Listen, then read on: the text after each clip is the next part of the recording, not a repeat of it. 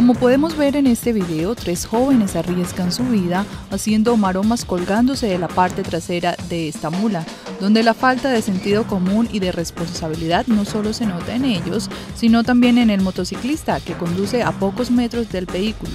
Ante este comportamiento imprudente, un así no es.